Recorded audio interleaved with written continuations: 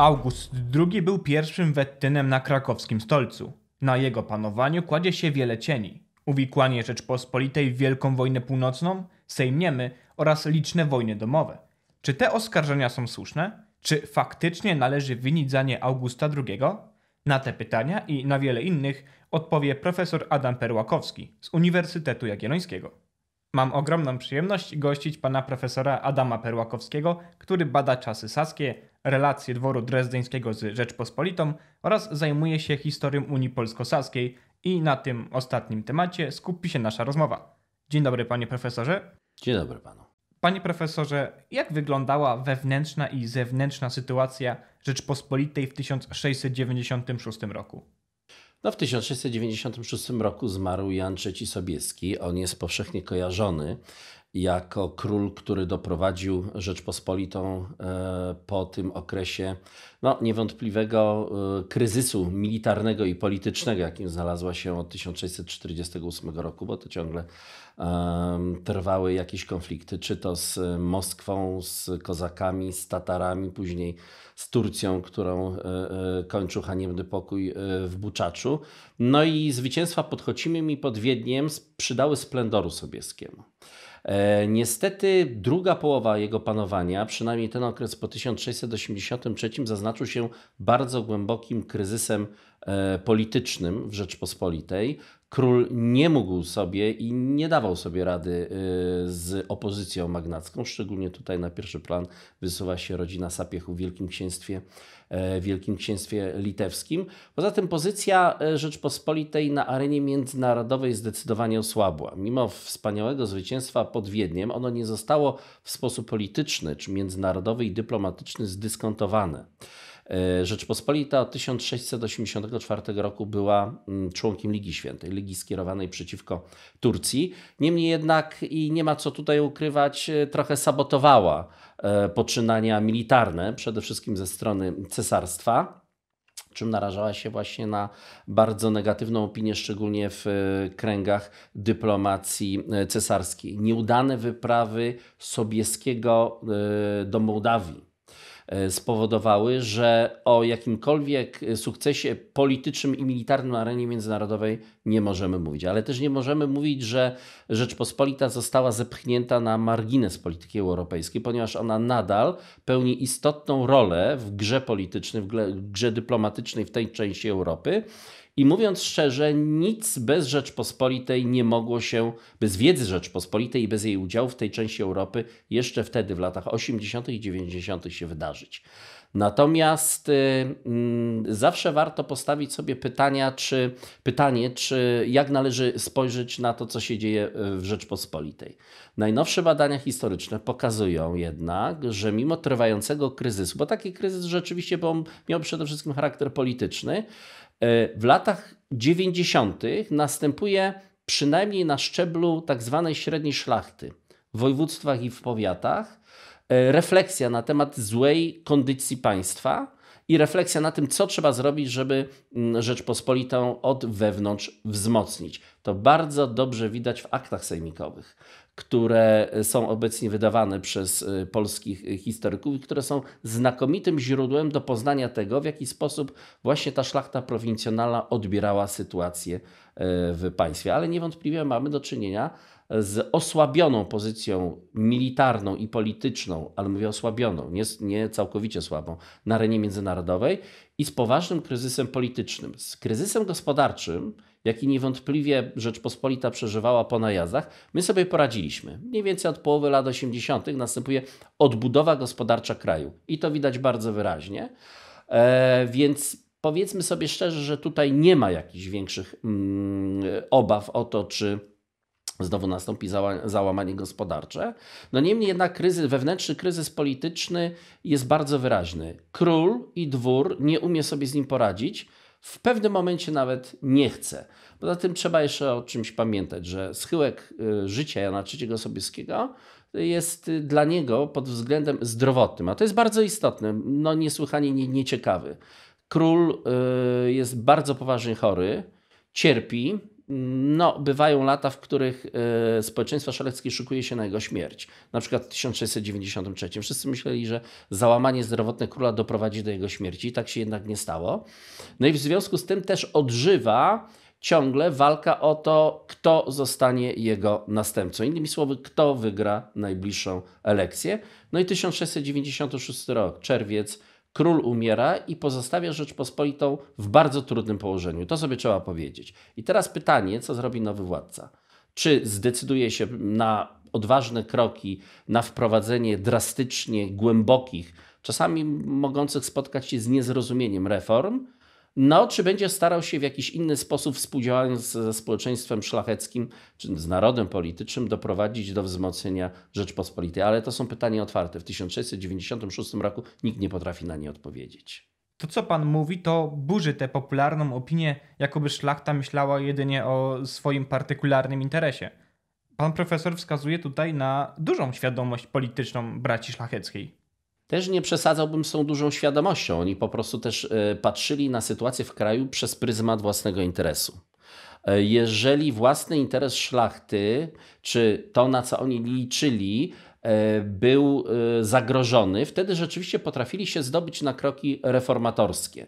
Natomiast e, trzeba powiedzieć, że panowanie Sobieskiego jest bardzo słabe, czy mierne wręcz, pod względem reformatorskiego ruchu intelektualnego.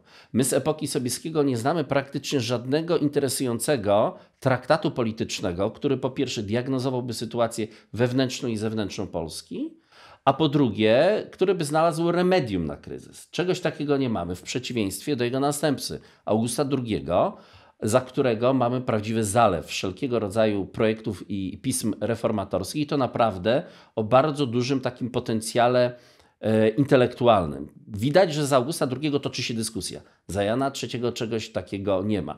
Natomiast e, problem nadal polega na tym, że my stosunkowo jako historycy niewiele wiemy o drugiej połowie panowania e, Sobieskiego.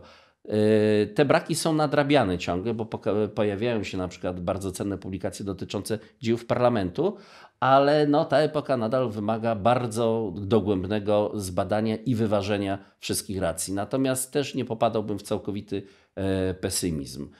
Państwo niejednokrotnie polsko-litewskie znajdowało się w gorszym położeniu niż e, za, przy, w momencie śmierci Sobieskiego. E, natomiast y, pytanie, jak nowy władca sobie z tym poradzi. Czy w takim razie w ogólnej świadomości historycznej Jan III Sobieski jest przeceniany? To zależy, bo jeżeli zapytać przeciętnego obywatela na ulicy, co sądzi o Janie III Sobieskim, zakładając, że w ogóle słyszał, że ktoś taki był, a z tym są, e, nawet z taką, z tak ważną postacią w dziejach polskich są problemy, no to zawsze się będzie kojarzył jako znakomity wódz. I to jest prawda. Natomiast jako polityk, szczególnie polityk stojący na e, szczycie drabiny władzy, czyli po prostu pełnił najwyższy urząd, jakim był monarcha, najwyższą godność, po 1683 roku nie za bardzo sobie poradził z tym, co się działo w Rzeczpospolitej. Mimo, że Rzeczpospolita weszła w ten okres takiego względnego spokoju, my nie mieliśmy jakichś e, konfliktów szczególnie istotnych, nikt nam nie zagrażał, to znaczy nie zagrażał suwerenności Rzeczpospolitej. E, I trzeba właśnie dlatego spojrzeć na panowanie Sobieskiego w sposób bardzo szeroki i bardzo ogólny. Nie ograniczać się tylko do Chocimia, do y, Wiednia, ewentualnie do jego y, y, funkcjonowania jako króla i dworu, na przykład wraz z Marysieńką, wraz z licznym potomstwem, ale spojrzeć na niego jako na polityka. I tutaj ta ocena moim moim zdaniem, ja mówię tutaj mm, o, o, moim osobistym nastawieniu do Sobieskiego, no nie może być pozytywna, gdyż rzeczywiście w drugiej połowie XVII wieku y, nie poradził sobie chyba z wyzwaniami, przed jakimi stanęła Rzeczpospolita. No chyba, że moi koledzy po piórze, po dogłębnej analizie źródeł i, i, i ustaleniu e, faktów oraz ich interpretowaniu stwierdzą co innego. Jest to bardzo możliwe i ja bym się cieszył, gdyby tak było, ale na razie nie ma jaskółek e, zmian, jeśli chodzi o takie dosyć sceptyczne, taką sceptyczną ocenę panowania Sobieskiego, przynajmniej w tej drugiej połowie.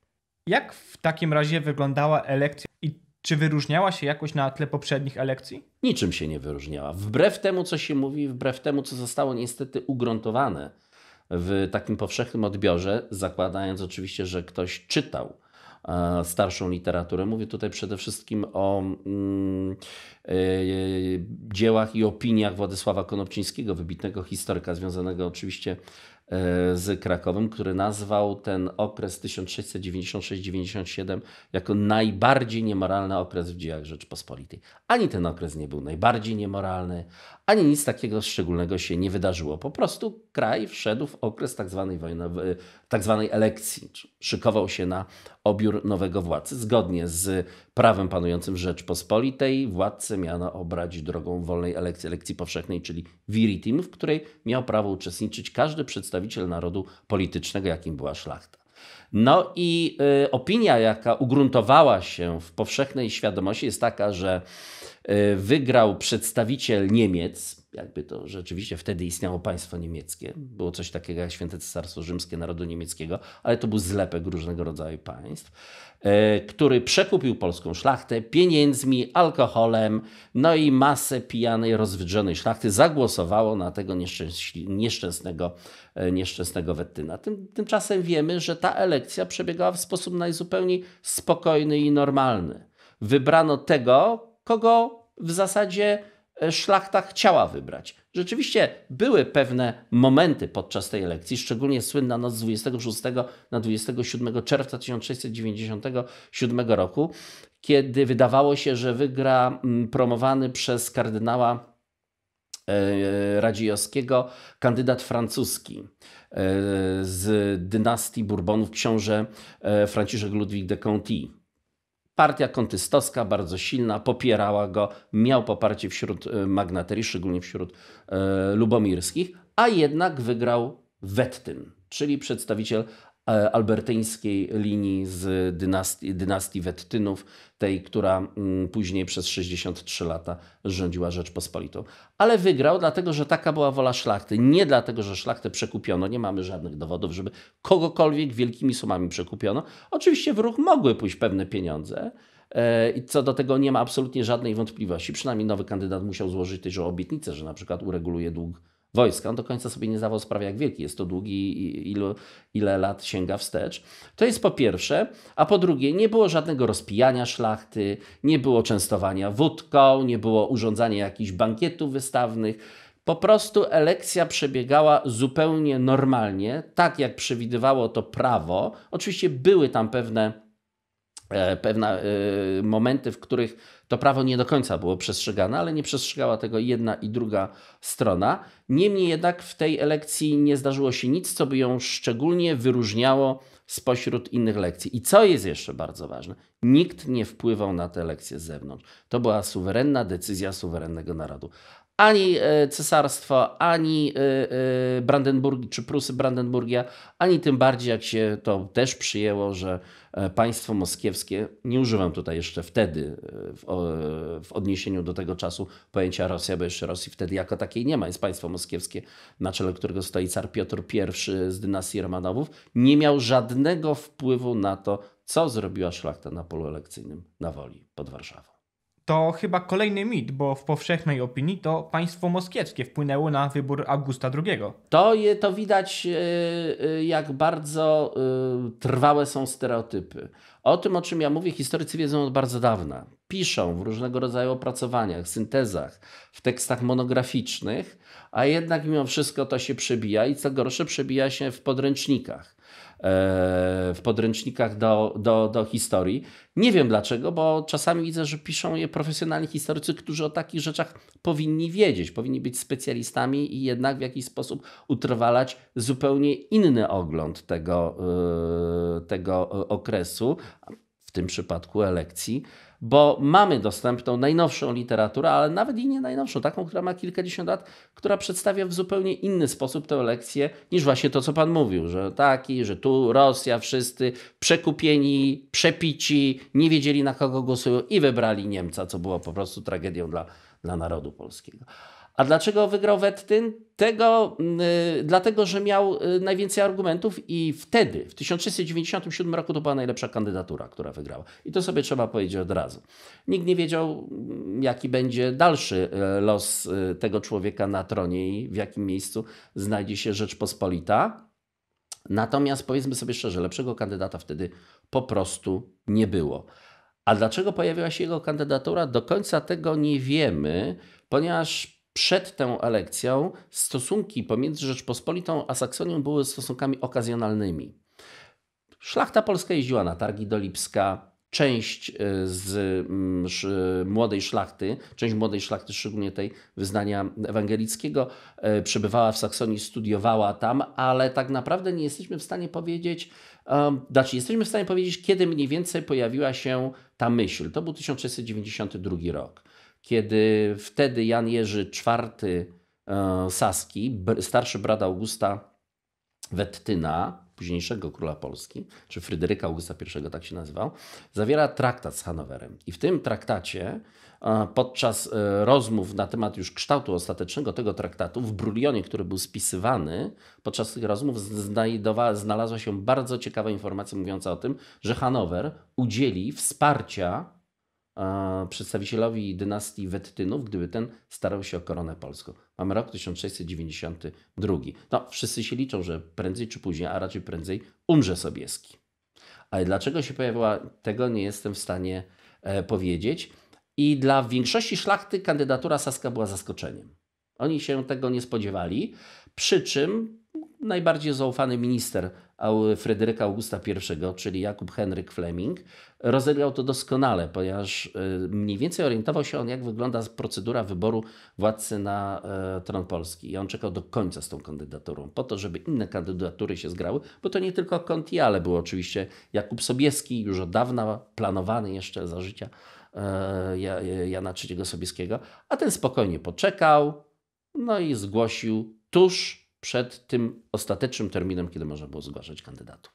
To podejście do Augusta II wynika zapewne też z braku świadomości, czym w ogóle była Saksonia i jaką renomą i pozycją cieszył się elektor saksoński. A to bardzo źle, dlatego że no jednak pozycja mm, elektora, czyli tego, który miał bezpośredni wpływ na elekcję cesarza, chociaż ta elekcja odbywała się w ramach y, y, y, rodu Habsburgów, rodu panującego, była bardzo wysoka. Przecież trzeba pamiętać o tym, że Saksonia jest uważana za ojczyznę luteranizmu. Gdyby nie Fryderyk Mądry, nie wiadomo, co by się stało z Lutrem i czy Luter przeżyłby a religia e, protestancka objęłaby swoimi, swoim zasięgiem bardzo znaczną część terytorium e, całego świętego Cesarstwa Rzymskiego Narodu Niemieckiego. W związku z tym pozycja elektora saskiego jako tego mm, pierwszego w tak zwanym korpusie ewangelickim elektorów e, Rzeszy była niepodważalna, była na pierwszym miejscu. Co też później zrodziło konflikt z Hohenzollernami. Oni to doskonale wykorzystali. Słabość Saksonii i właśnie włączenie się w ten, e, w ten e, nazwijmy to, e, w tę strukturę władców Europy jako władcy suwerennego, bo w momencie, kiedy August II, kiedy Fryderyk August I zostaje królem Polski, staje się władcą suwerennym. Przynajmniej w Rzeczpospolitej. Na terenie Niemiec jest, na terenie, przepraszam, Rzeszy Niemieckiej jest jednak podległy cesarzowi, przynajmniej w dziedzinie polityki zagranicznej. Znaczy powinien być. Czasami prowadzili oni zupełnie inną politykę, niezgodną z interesami cesarza, Natomiast y, pozycja Saksonii jako państwa jest y, wręcz niepodważalna. Saksonia od 1635 roku cieszy się spokojem. Następuje bardzo gwałtowny rozwój gospodarczy. Saksonia nie prowadzi konfliktów. Te pieniądze są inwestowane w rynek wewnętrzny. Mówi się, a to właśnie, to też warto powiedzieć, że jest, posiada świetną armię, Mit tej armii został skutecznie obalony przez e, Karola XII podczas Wielkiej Wojny Północnej, no ale wtedy jeszcze nikt nie sądził. No i ta Unia dawała, przynajmniej w założeniu, bardzo duże nadzieje na e, to, że powstanie w tym, e, tej części Europy związek państw Rzeczpospolitej i Saksonii, która będzie na długie lata dominować której w zasadzie nikt nie jest w stanie zagrozić. No oczywiście nie mówię tutaj o cesarstwie, ale na pewno nie Prusy, Brandenburgia, Prusy, na pewno nie państwo moskiewskie, ani też inne kraje e, Rzeszy Niemieckiej. To niemożliwe by było, no ale historia się inaczej potoczyła. Jak w takim razie wyglądał plan Augusta II na Rzeczpospolitą?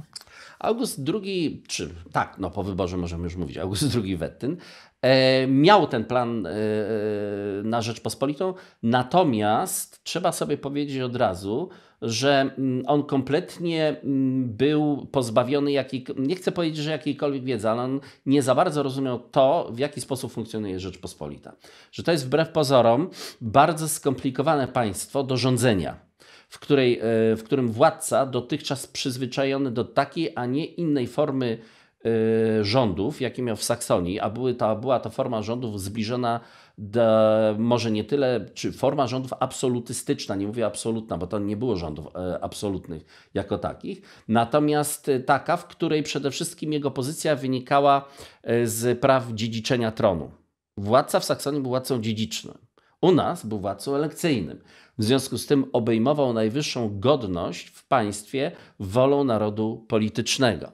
E, oczywiście król w Rzeczpospolitej miał bardzo silną pozycję, o czym mało kto wie, ponieważ miał prerogatywy w rękach umożliwiające mu w zasadzie kierowanie państwem. Wystarczy powiedzieć o dwóch: nominacje na urzędy i prawo do zwoływania Sejmu i niczego więcej nie potrzebował. Oczywiście zależało wszystko od stopnia inteligencji tego człowieka i stopnia tego, w jaki sposób tę e, sprawę czy te kompetencje będzie mógł e, wykorzystać. Natomiast na August II nie był zbytnio obeznany w tych realiach Rzeczpospolitej.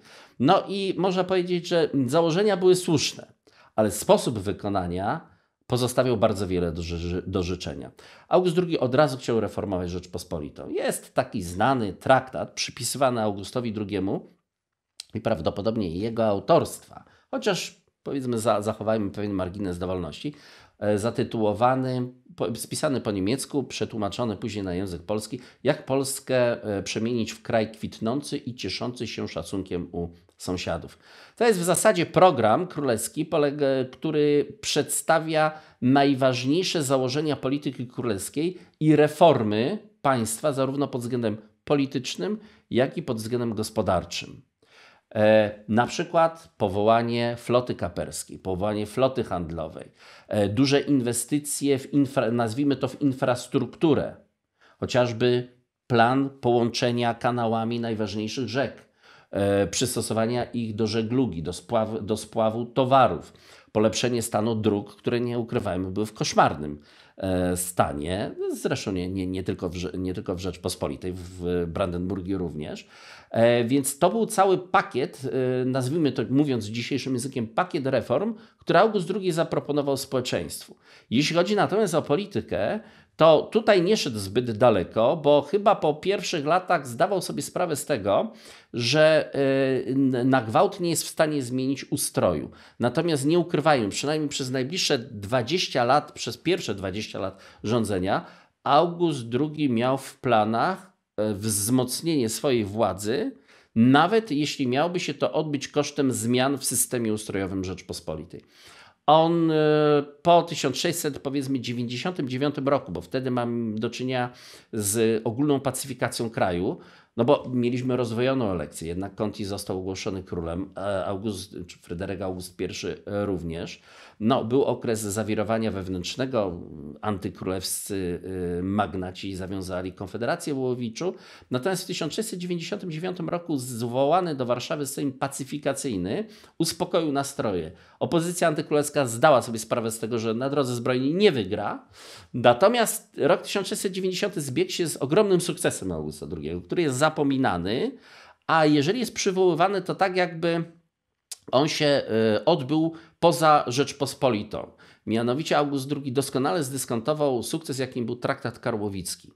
Po prostu do Rzeczpospolitej wracało Podole wraz z kamieńcem, co było dla szlachty no, niezwykle ważne. No, zresztą August II obiecał w paktach konwentach odzyskanie wszystkich awulsów, czyli tych terenów, od, e, e, które Rzeczpospolita utraciła w czasie, no, przede wszystkim w czasie XVII, trwania XVII wieku.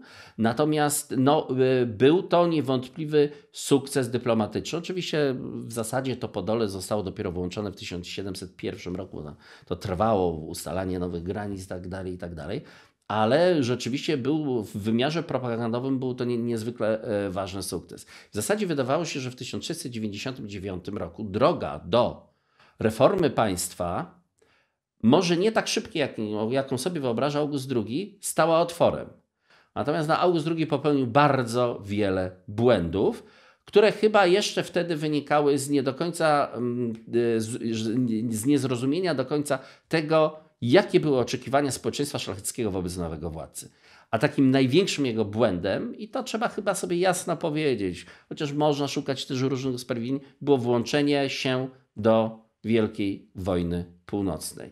W 1700 roku jako Saksonia, bo Rzeczpospolita formalnie e, nie brała udziału w Wielkiej Wojnie Północnej do 1704 roku, do traktatu nareskiego. No niestety, ale skutki dotyczyły przede wszystkim Rzeczpospolitej. A jak masy szlacheckie odbierały nowego króla? Jakie z nim wiązały nadzieje? Przede wszystkim mm, y, trzeba sobie powiedzieć jedno. Y, y, jeśli chodzi o odpowiedź na to pytanie, musimy wrócić do czasów interregnum. E, okres bezkrólewia był traktowany w Polsce jako coś w rodzaju stanu wyjątkowego. Szlachcie zależało na tym, żeby ten stan wyjątkowy trwał jak najkrócej. Oczywiście formalnie w, w, w, momencie śmierci króla władzę w Rzeczpospolitej obejmował interrex, czyli prymas. No ale to nie była głowa koronowana. To można powiedzieć, było nawet nie wiem, czy można go porównywać z kimś w rodzaju PO króla, czyli pełniącego obowiązki e, władcy. I dlatego e, szlachta z utęsknieniem wyczekiwała na to, aby e, okres interregnum został jak najszybciej zakończony, bez żadnych większych zawirowań. My sobie z tego nie zdajemy sprawy, ale przy, przywiązanie szlachty do pewnych wzorców, do legitymizmu było tak silne, że nie zdawali sobie sprawy, iż państwo musi normalnie funkcjonować, a na jego czele ma stanąć król, bo państwo bez króla w ogóle nie ma prawa funkcjonować. To się nie mieściło wtedy w żadnej z. Yy, yy, w ogóle się nie mieściło w świadomości szlacheckiej. I dlatego nowy władca to są zawsze nowe nadzieje dla szlachty. A jaka była najważniejsza rzecz dla szlachty? To był przede wszystkim spokój. Spokój za wszelką cenę, czyli na przykład nieprowadzenie działań ofensywnych, nieprowadzenie wojny ofensywnej, ponieważ wojna zawsze wiązała się z, i do dzisiaj wiąże się z tym, że trzeba na nią wydawać pieniądze. Na skąd wziąć pieniądze? I dzisiaj, no tak samo wtedy, no głównym yy, źródłem pieniędzy były podatki. Nikt niczego lepszego nie wymyślił, jak do tej pory, i pewnie długo nie wymyśli. No a szlachta bardzo nie lubiła tych podatków płacić, tym bardziej na wojnę ofensywną. W związku z tym doma, y, oczekiwała od nowego władcy przede wszystkim E, uspokojenia sytuacji wewnętrznej. Nawet jeśli szlachta mówiła o tym, że e, no, utraciła kamieniec y, podolski wraz z częścią Podola, bo to nie było całe Podol, z częścią Podola, z częścią dawnego województwa bracławskiego, czy nawet pojawiają się głosy mówiące o konieczności rekuperacji, czyli e, od, odzyskania inflant, które straciliśmy na początku XVII wieku, a które wtedy znajdowały się pod panowaniem szwedzkim, to jednak trzeba powiedzieć, że ta świadomość szlachecka była rozdwojona. Z jednej strony chcieli odzyskać to, co straciliśmy, ale z drugiej strony najlepiej by to było, gdyby y, władca zrobił własnymi siłami i nie angażował do tego szlachty, y, która wzywa, byłaby wzywana na pospolite ruszenia, albo co gorsza, mm, musiałaby płacić podatki na zaciąg nowej armii. W związku z tym y, te oczekiwania były jasne. August II miał no, nieco inne oczekiwania. Ale czy możemy powiedzieć, że August II miał tak naprawdę pecha z wojną północną? Bo wydawało się, że zmontował solidną koalicję, że atakuje młodego, nieopierzonego króla. Nie mógł przewidzieć, że Karol XII okaże się wojskowym geniuszem. Szwedzcy historycy wysunęli ostatnio bardzo ciekawą e, tezę, mówiąc o tym, że wojna czy tak, czy tak by wybuchła. Że kwestią czasu było to, że e, Karol XII, rzeczywiście bardzo młody, E, władca, który się wydawał być władcą nieopierzonym, a przede wszystkim no, niedoświadczonym. A pamiętajmy, że August e, miał doświadczenie wojskowe, bo przecież on nie był przewidziany do e, panowania w Saksonii. On był przewidziany do służby wojskowej i brał udział w wyprawach przeciwko Turcji w ramach korpusu wspomagającego cesarza. Więc o tym musimy pamiętać. I się wydawało na pierwszy rzut oka, że doświadczenie wojenne Augusta II plus y, dobrze zorganizowana armia saska no, Szwecja, która wtedy była no, już na, tym, y, na tej drodze pochyłej, jeśli chodzi o swoją potęgę, aczkolwiek nadal liczyła się w tej części Europy, ale to nie była potęga z czasów Gustawa Adolfa, to militarna, to nie ma co do tego wątpliwości. Wydawało się, że wojna potrwa bardzo, y, ale to bardzo krótko.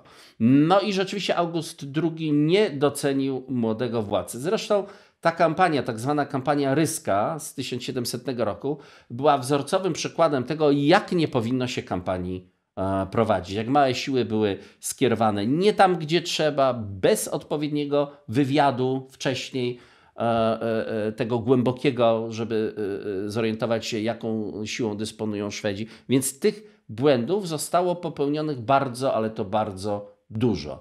I czy August miał pecha? Tak, ale ten pech był trochę też spowodowany kompletnym zlekceważeniem przeciwnika. Natomiast chyba największy pech to był taki, że Karol XII po zwycięstwie nad Narwą kiedy Piotr I musiał salwować się ucieczką z Polawaki, zostały rozgromione wojna, wojska e, e, rosyjskie, czy wojska moskiewskie, nie zdecydował się uderzyć na Rosję, tylko na Rzeczpospolitą. On uważał, że Rzeczpospolita jest znacznie większym zagrożeniem dla Szwecji. Ale też wracając do tego, no i przewidywano, że wojna czy tak, czy tak by wybuchła. Może nie w 1700, ale Karol XII prędzej czy później uderzyłby na Rzeczpospolitą. Teraz jest pytanie, czy August II o tych planach, o tych zamiarach y, Karola XII wiedział?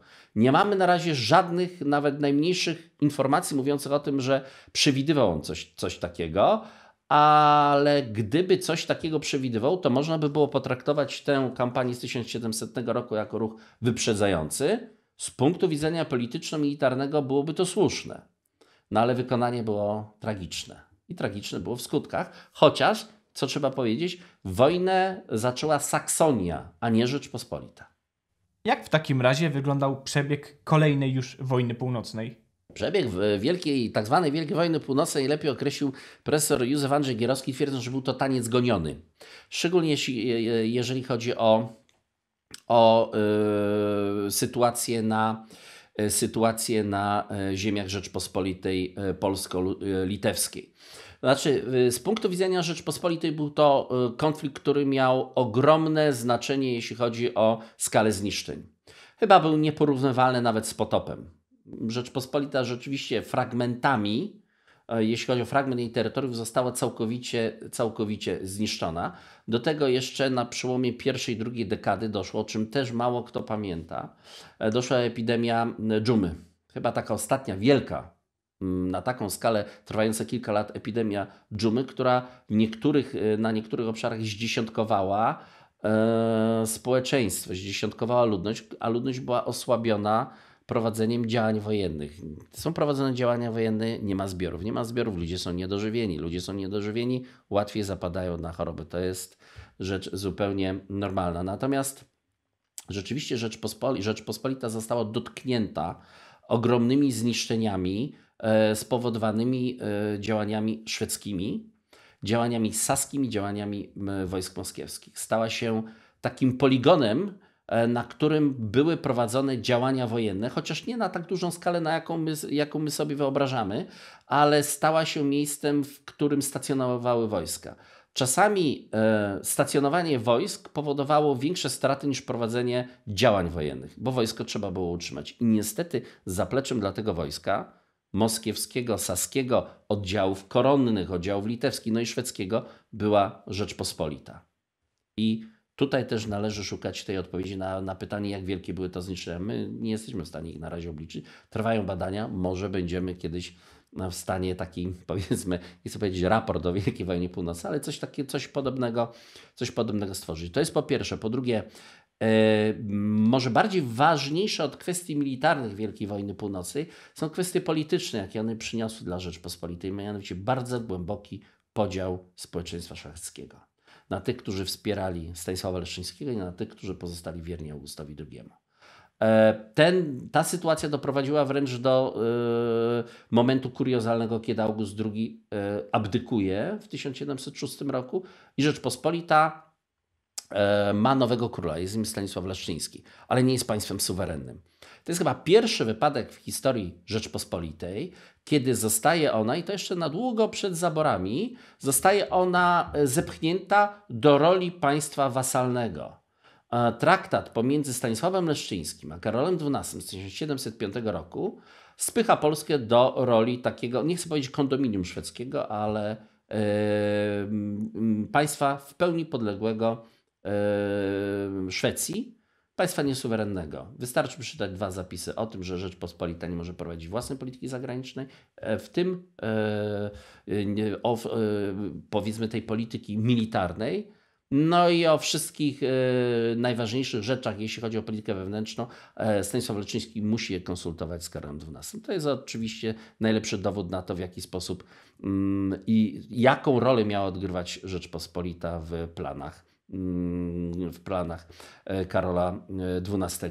Natomiast jeśli chodzi o naszego sąsiada, państwo moskiewskie, to w momencie, kiedy tron objął Piotr I, a szczególnie już później w lata, bo on formalnie zostaje carem w 1682 roku, natomiast w drugiej połowie lat 90, mm, pod koniec lat 90. odbywa on tak zwane wielkie poselstwo po Europie. On jedzie tam incognito, natomiast e, rozpoczyna proces modernizacji e, swojego państwa. E, tylko proces modernizacji państwa moskiewskiego jest szczególny, bo on dotyczy tylko i wyłącznie kwestii władzy. To, co ma zostać zmodernizowane, ma służyć samodzierżawiu, władzy cara, a nie temu, żeby się obywatelom lepiej żyło. To chyba widzimy do dnia dzisiejszego, że tam jest to najważniejsze. I ten moment, kiedy w od 1700 aż do 1706 czy 1707 roku Karol XII jest zaangażowany w wojnę na terenie Rzeczpospolitej, e, car ma czas po to, aby wzmocnić swoje państwo. A Rosja, czy państwo moskiewskie, Rosja jest krajem o bardzo dużym potencjale, kompletnie niewykorzystanym. Dopiero zaczyna się modernizować, żeby czerpać siły właśnie z tego potencjału, jaki ma. Mówimy tutaj o obszarze, o ludności, o przeszczepianiu wprost na grunt rosyjski obcych wzorów przy pomocy obcych specjalistów ściąganych z zachodu Europy za bardzo duże, dobre pieniądze.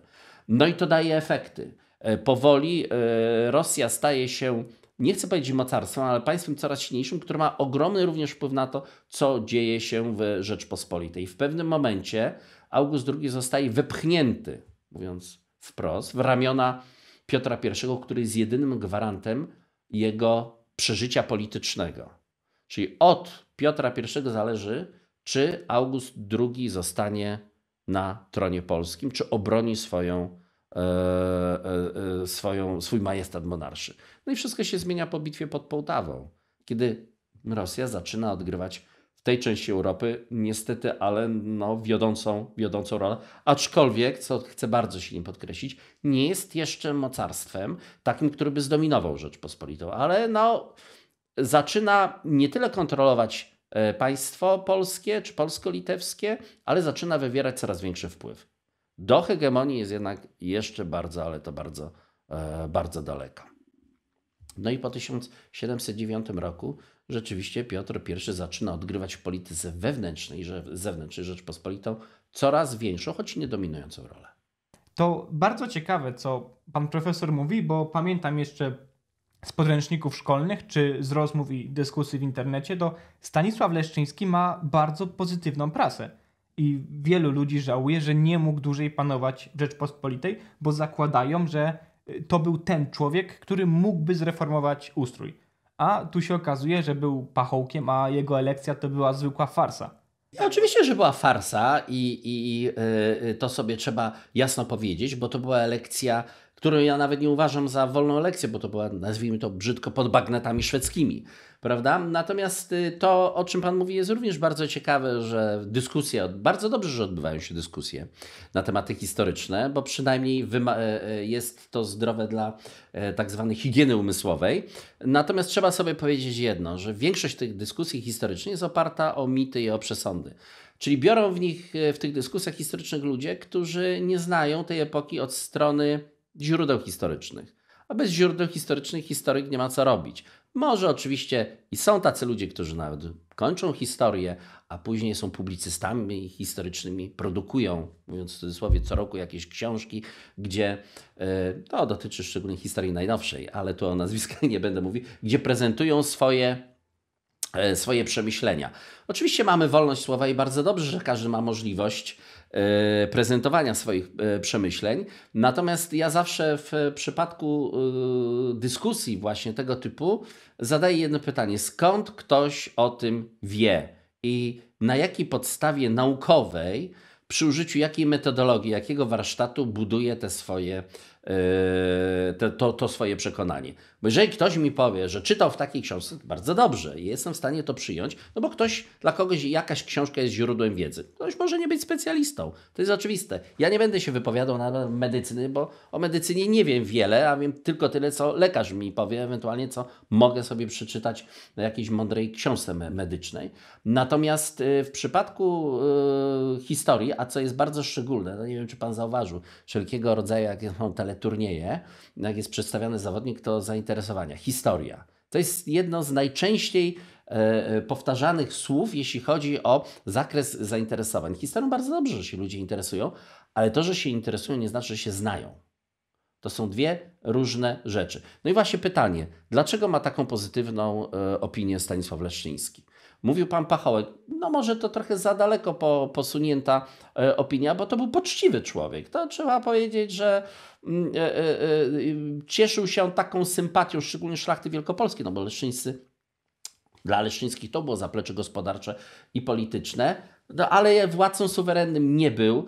E, aktywności, aktywność polityczna jego była żadna. Oczywiście historycy się spierali, e, e, jeśli chodzi o, o, o ocenę Leszczyńskiego. Józef Feldman, jeden z najwybitniejszych uczniów właśnie Władysława Kodomczyńskiego, starał się jednak trochę przydać tego blasku Stanisławowi Leszczyńskiemu, natomiast on jako władca się po prostu nie broni. No i, i, I fakty są takie, że to jego panowanie, zresztą bardzo krótkie, i on zdawał sobie sprawę z tego, że jest władcą niesuwerennym, było jednym wielkim nieszczęściem dla, dla Rzeczpospolitej. Jeżeli miałbym oceniać, kto był lepszy, czy August II, czy Stanisław Leczyński, to na pewno August II. No, przerastał go, jeśli chodzi o, o, o ten format polityczny. Stanisław Leczyński nie był politykiem. On zatrzymał się na etapie bycia magnatem. I tym magnatem powinien zostać. Aczkolwiek potem rzeczywiście on uwierzył bardzo w swój królewski majestat. Tam fakt, że chyba no, dwa to wiemy, że dwa razy kandydował do tronu Rzeczpospolitej, a miał nawet w planie trzeci raz kandydowanie w latach e, e, po śmierci e, Augusta III. Natomiast trzeba powiedzieć, że jego panowa, gdyby panował, to byłoby jedno wielkie nieszczęście dla Rzeczpospolitej. E, to e, nie ma tutaj chyba e, żadnych wątpliwości. Patrzymy, czy niektórzy, którzy go oceniają dobrze, no patrzą na jego działalność przez pryzmat późniejszej, późniejszego etapu jego życia w Lotaryngii, w Nancy, gdzie stworzył akademię. Mówiła właśnie, że król uczony. To podejrzewam, że ma największy wpływ na pozytywną ocenę Leszczyńskiego. No jeżeli chcemy w ten sposób go oceniać, to tak. Natomiast jako władca absolutnie nie. I do, może nawet i źle, że to jego panowanie trwało przez 3 lata, bo i tak to było o te 3 lata za długo. Wydaje się, że na Augustie II ciąży ten Sejm Niemy i, i jego czarna legenda. Sejm Niemy był najwybitniejszym e, z sejmów, no moim zdaniem do czasów Sejmu czteroletniego, jeśli chodzi o kwestie reformy państwa. Sejm Niemy, który no, jest powiedzmy jednym z moich ulubionych właśnie takich elementów tej całej układance e, czasów saskich, ponieważ został tak zmitologizowany, że można by było napisać naprawdę bardzo dużą, grubą książkę na temat tego, co pisano i co sądzono o Sejmie Niemym. No o zgrozo, co pisali o nim profesjonalni e, historycy. E, jednym z najciekawszych elementów związanych właśnie z Sejmem Niemy jest to, że nie był niemy. To jest Sejm niemy nie był niemy, mimo że jest nazywany niemym. Dlatego, że podczas Sejmu się kłócono, chciano go dwa razy zerwać, wychodzono z protestacją, e, miano pretensje. W związku z tym absolutnie te obrady Sejmu Niemego nie toczyły się w całkowitym milczeniu. Więc to jest e, rzecz pierwsza. Druga. No oczywiście zawsze mówiono o tym, że Sejm Niemy to pod bagnetami rosyjskimi. Nawet podawano liczbę 18 tysięcy Rosjan, żołnierzy rosyjskich, którzy wtedy mieli stacjonować w Warszawie, otoczyć, e, otoczyć e, e, Izbę Sejmową i... Tylko pytanie, co oni mieli tam robić? Nikt nie zadał sobie pytania, co mieliby robić Rosjanie w Warszawie 1 lutego podczas obrad Sejmu Niemego 1717 roku. Na zdrowy chłopski rozum powinno być takie pytanie. No bo co, co w zasadzie ich to obchodziło? E, zapomina się też bardzo często, że Sejm Niemy tak naprawdę ubrał formę konstytucyjną, czyli zalegitymizował to, co zostało wcześniej zawarte na początku listopada 1716 roku w Warszawie, czyli tak zwany traktat warszawski pomiędzy Augustem II a konfederatami.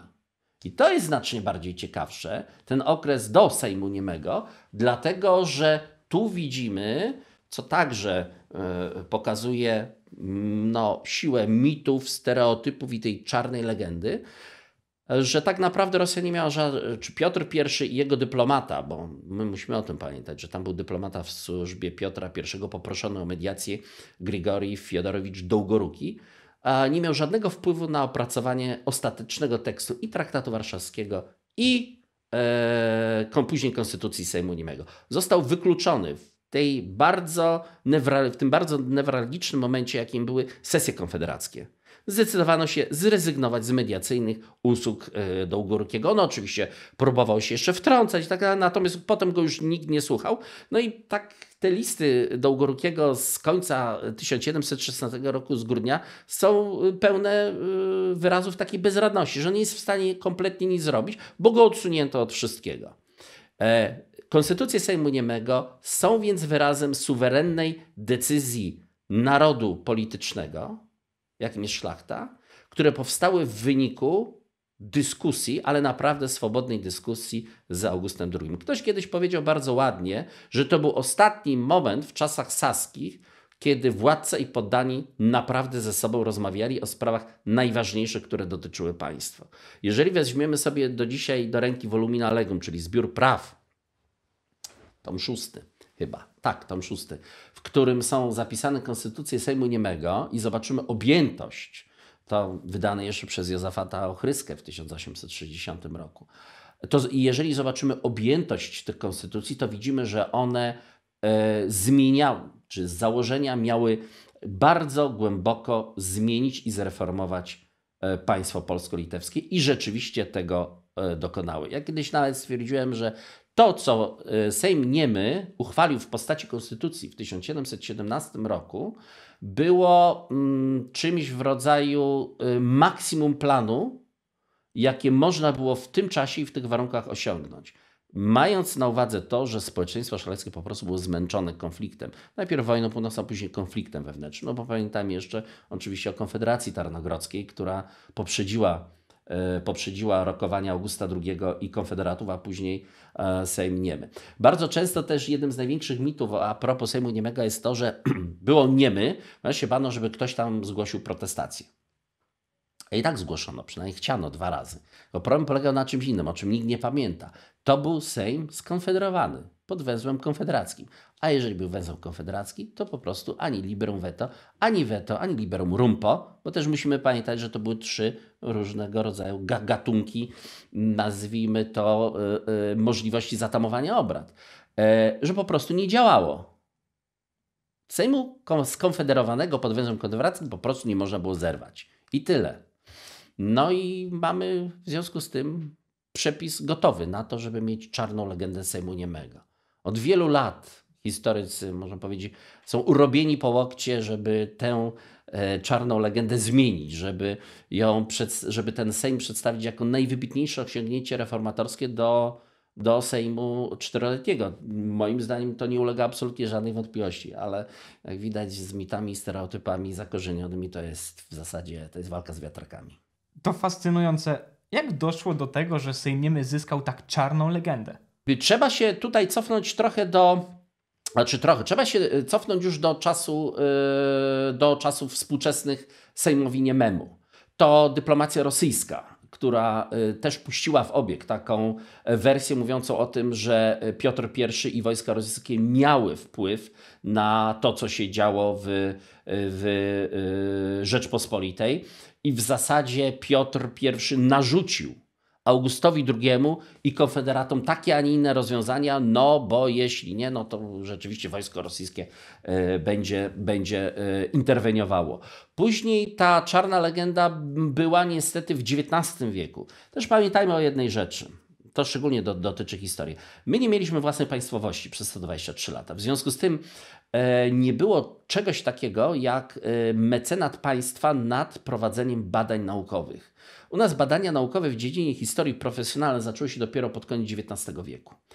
I rzeczywiście ten mit XIX, e, ten mit e, Sejmu Niemego w XIX wieku był bardzo silnie podbudowywany. Wystarczy sobie wziąć do ręki to, co pisał e, Kazimierz Jarachowski, ten no, moim zdaniem ojciec historiografii czasów saskich, ale tworzący jeszcze pod zaborem pruskim, plus nastawienie szkół czy warszawskiej, czy krakowskiej, mimo że te szkoły nigdy nie funkcjonowały w tym samym czasie, w związku z tym konflikt między szkołą krakowską a, a warszawską nigdy nie istniał, no to jednak te mity były powielane. Pamiętajmy też, że w wieku XVIII były rzeczywiście Sejmy zdominowane przez e, e, e Rosję. Sejm e, 1773 roku w Grodnie, który też czasami funkcjonuje jako Sejm Niemy, gdzie nie pozwolono, prawda, mamy wszyscy przed oczami Rejtana, który rozdziera szaty na sobie, że nie dopuści do ratyfikacji e, traktatu rozbiorowego. A dlaczego ja o tym mówię? Dlatego, że kiedyś brałem udział w konferencji w Niemczech,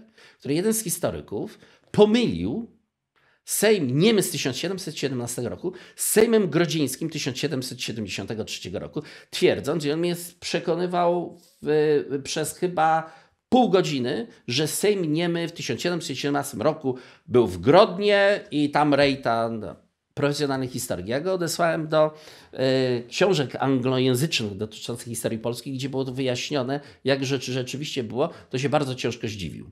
Ale właśnie to pokazuje żywotność, y, żywotność tego mitu, powielanego powielokroć właśnie, czy w y, opracowaniach historycznych, w syntezach Polski, niestety, i to również tych anglojęzycznych, no i w podręcznikach. A wystarczy, e, e, wystarczy że rzeczywiście poświęcić trochę czasu na badania, przede wszystkim badania źródłowe, żeby zobaczyć, że było zupełnie i kompletnie inaczej. Ostatnie pytanie. Jakim człowiekiem był August II? Czy wiemy coś na ten temat? Wiemy, wiemy. Był człowiekiem o niesamowitej witalności. Przynajmniej no, będąc młodym człowiekiem. To znaczy, pytanie oczywiście, co to znaczy młody człowiek w XVII wieku. On urodził się w 1670 e, roku i mm, był, tak jak powiedziałem, nie był przewidziany jako ten, który obejmie rządy w Saksonii. Rządził jego brat, ale zmarł na ospę w 1694. I August II, w czy Fryderyk August I, mówiąc, no, w 1694 roku objął rządy w Saksonii. Trzy lata później został wybrany na króla, przepraszam, na króla Polski. Jaki był człowiekiem? Był człowiekiem o niespożytej e, witalności, sile i energii. Tym można też tłumaczyć, że w momencie, kiedy mm, objął on e, godność władcy polskiego, kiedy został koronowany, od razu przystąpił do e, realizacji swoich planów, wzmocnienia Rzeczpospolitej, ale także głównie chodziło mu o wzmocnienie swojej władzy.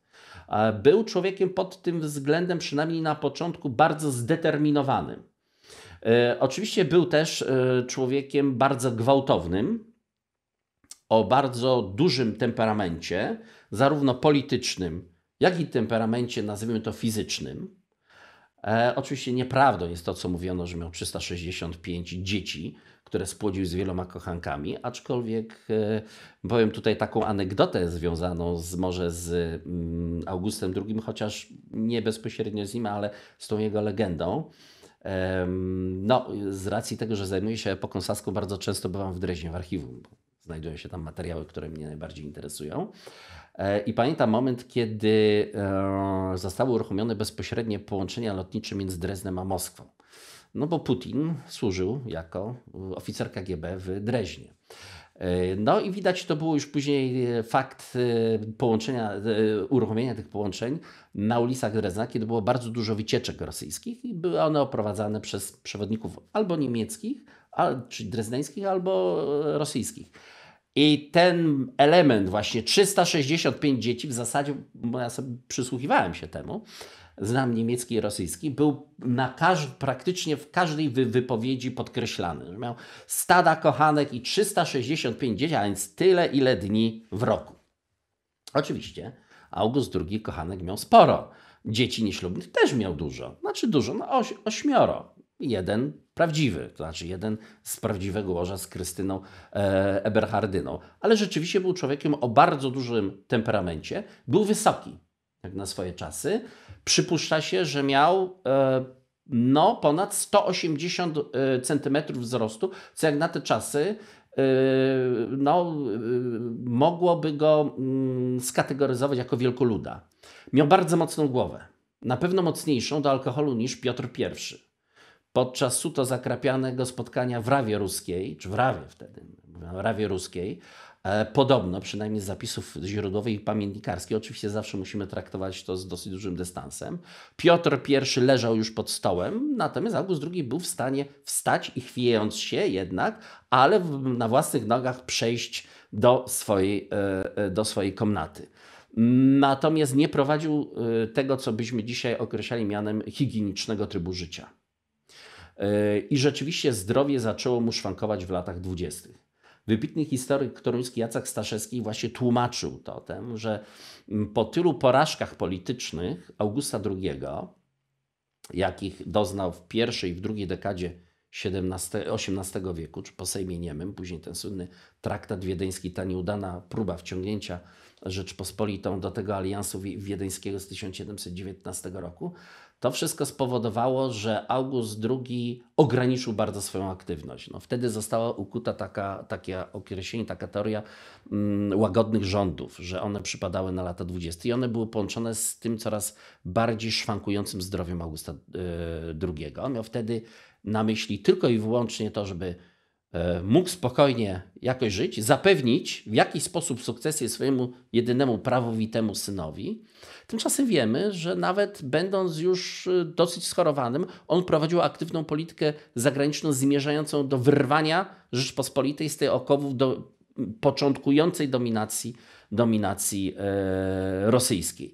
Także nawet będąc chory i będąc w okresie, kiedy to zdrowie mu, czy brak zdrowia mu doskwierał, August e, no, można powiedzieć, był królem. To znaczy prowadził świadomą e, politykę. Ona zakończyła się niepowodzeniem. Natomiast trzeba powiedzieć, że on miał po prostu pewną wizję państwa.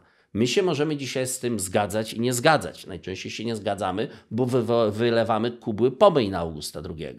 Słusznie, czasami niesłusznie. Natomiast trzeba też pamiętać, w jakich warunkach on rządził. Generalny bilans jego panowania jest, no dzisiaj wiemy, bilansem negatywnym. E, natomiast zdecydowanie przewyższał swojego syna, jeśli chodzi o talenty polityczne, jego wizję państwa i, i, i, i podejście do reform w państwie. No, trafił na taką, a nie inną, e, na taką, a nie inną układankę polityczną. Może gdyby w, w Rosji był kto inny, a nie Piotr I, by zupełnie to inaczej wyglądało. Bardzo dziękuję, panie profesorze. Dziękuję również.